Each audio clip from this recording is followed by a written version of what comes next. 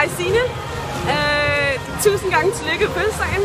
Jeg håber, at uh, du har en helt fantastisk aften, og jeg håber, at uh, du blev rigtig overrasket. Gjorde du det? Og jeg vil også bare lige sige til sponsorerne, pas på, ITG-drenge, de rykker ikke så meget på alt muligt, men på snapsen. De rykker sindssygt på den snaps. Så god julefrokost, rigtig god jul, rigtig godt nytår. Jeg har kendt Rikke et, et, et stykke tid, og øh, vi tænkte, at det var måske bedst at fortælle dig øh, om mig og Rikke nu her på jeres, øh, jeres sølvbryllupsdag. Tusind gange tillykke med, at I nu åbner endnu en forretning. Det er fandme fedt at se, at der er nogen, der holder øh, gang i julene. Og det er fedt, at der findes sådan nogen som jer.